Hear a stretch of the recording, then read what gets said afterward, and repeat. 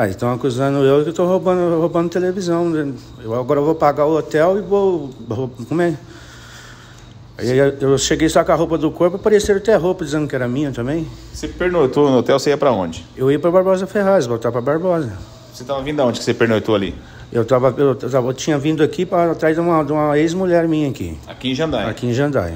Como você não encontrou, você resolveu dormir no hotel. Eu- Justamente. E o que, que aconteceu que eles te acusaram? Não sei, sei que eu fui sair para modo avisar que eu ia comprar um cigarro, daí a pouco, já- eles estavam tudo lá para dentro, eu, eu peguei, eu bati lá no para modo de chamar ex, aí já vieram com, com, com as duas televisões de, lá de baixo e com, com roupa minha, diz- dizendo que era minha. A informação que a polícia nos passou é que você fez estilo uma Tereza, marrom lençol na televisão e estava descendo a televisão ali pela janela do hotel, é isso? Não, negativo, não fiz isso.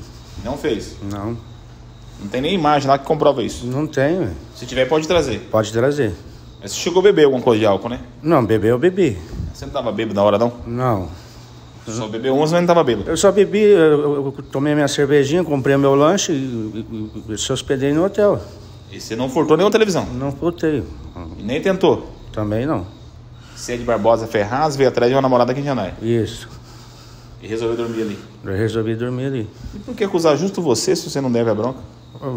Agora que agora eu faço essa boa pergunta, viu? Que eu também estou curioso. Não deve. Não devo. Em nenhum momento você fez a Tereza para descer o televisor também. Também não. Tem as imagens lá, ué. É só puxar nas câmeras. Só puxar que vai ver que não é você. É, ué. Quando falaram que era você com os dois televisores, você ficou surpreso. Ué, até- porque até, né? Fiquei discutindo, ainda discuti com eles, velho. Por isso você resolveu nos conceder uma entrevista nessa manhã, pediu para entre- a gente entrevistar você para dizer que você não deve. Não, eu não devo. E Você, tô- você é inocente.